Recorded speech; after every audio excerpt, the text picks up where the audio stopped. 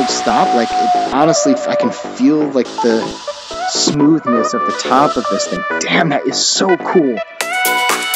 Hello everyone, welcome back to the channel. My name is Alex VR and this YouTube channel here is all about virtual reality, gameplay, and uh, interviews and product reviews. And today I am going to be talking about my experience with these bad boys. These are the Dexmo Force Feedback Hand Tracking Haptic Gloves, designed and created by Dexta Robotics. My initial impressions, of course, are that this thing looks and feels extremely badass. Like this is some seriously futuristic uh, technology. This is the kind of thing that like I imagined would maybe exist in the future. Now it like pretty much feels like I have an exosuit robotic skeleton on my hand. It's really, really fucking cool.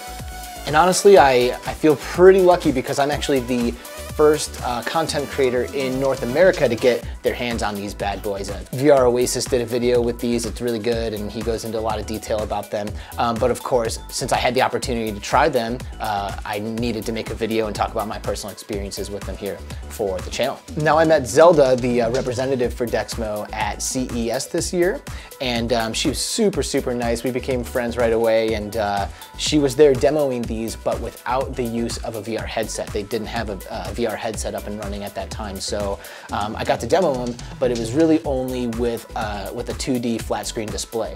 So I was super, super stoked when I got to bring these home and put the headset on and be immersed in the world and then be reaching out and grabbing, uh, grabbing objects with the Dexmo gloves on. I think these are extremely, extremely cool. And while maybe not the most practical peripheral for um, like a consumer, like a gamer or something like that, I definitely see the implications of this kind of technology, especially when it comes to like real hands-on training or something like that. Now, a smaller version of something like this that's maybe more lightweight and has the ability to still kind of provide that force feedback, of course would be amazing uh, for gamers in virtual reality. Imagine being able to reach out and, you know, grab a, a, a baseball bat or something and really, you can feel the circular shape of the baseball bat in your hand and that is like next level. It's so fucking awesome.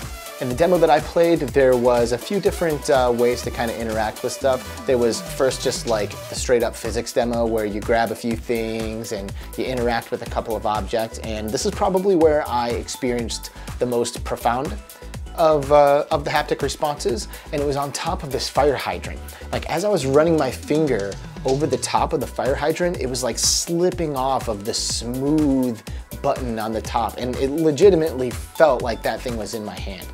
Now, the force feedback isn't intense, it's not painful, you know, like it wouldn't take much to just like, you know, force through it and, and rip through it, but there's enough restriction um, made by the glove to really influence your experience of touching the object, um, which is fantastic.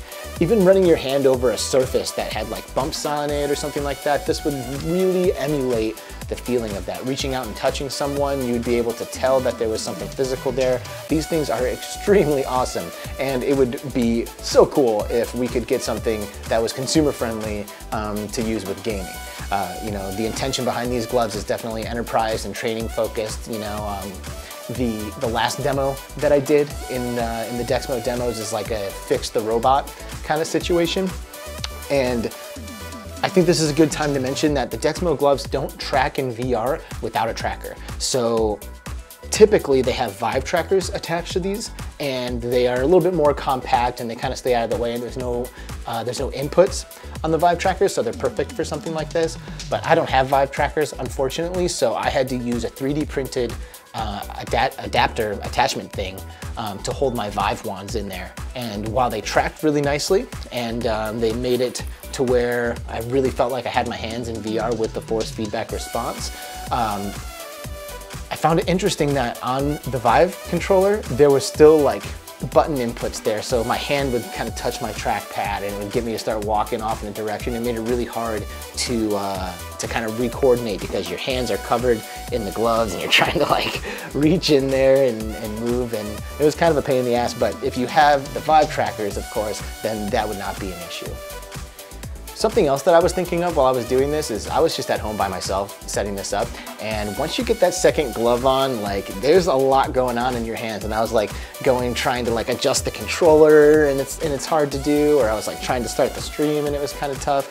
Um, so this is definitely the kind of thing that like you probably want a second pair of hands around to like help you get strapped in, get you comfortable and make any adjustments on the computer that need to be made for you and, and that kind of thing, which is another reason why I do see it uh, more of, as like a training application, more practical, like training hands-on kind of thing.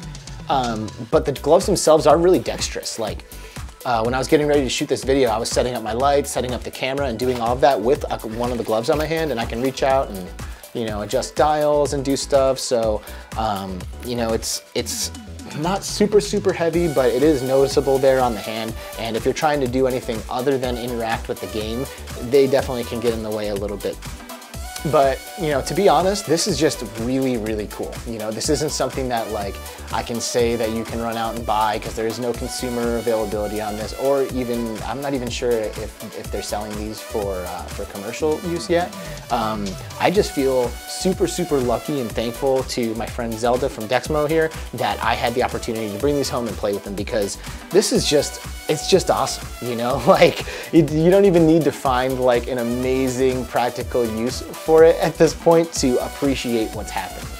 You know, I imagine um, in a couple of years, this will get a little lighter, it'll get cheaper, and developers will probably start to implement more ways to make VR feel like we are connected to the world. And haptic response um, and, and force feedback response is an inevitable uh, progression to that. You know, I mean, we, we have all of our other senses being manipulated in virtual reality, and it's only a matter of time before we really get our nerves and the force feedback kind of thing implemented. So my hat really goes off to Dexmo here. This is super, super cool. I had a blast playing around in the demos with these and it really got me thinking about how amazing it's gonna be when in, I'm gonna guess, I don't know, maybe four or five years, we'll have something at home where you can reach out and grab an item and it feels like it's in your hand. Super, super cool.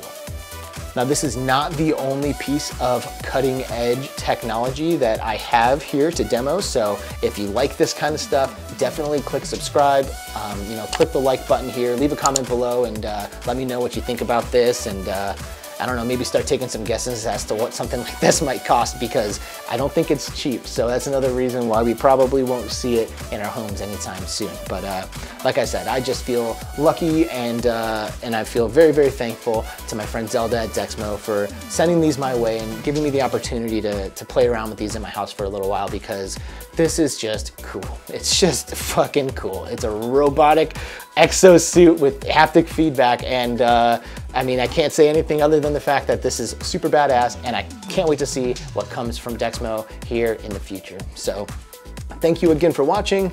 Um, like the video, subscribe to my channel, please. Check out my uh, Between Realities podcast over on a separate YouTube channel there. Uh, we have amazing guests from the VR community show up over there and uh, have a lot of fun joking around and, and doing interviews with them. So um, I think that's gonna do it for this video. Thanks again. We will see you soon.